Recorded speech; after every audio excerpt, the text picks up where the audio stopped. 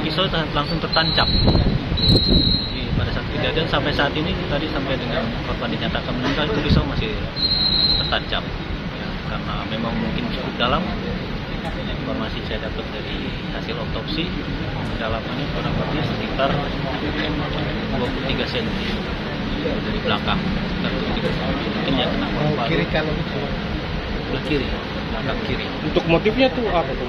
Sampai saat ini kita masih pendalaman karena spontanitas habis apel pagi langsung Medcom.id, a part of Media Group Network.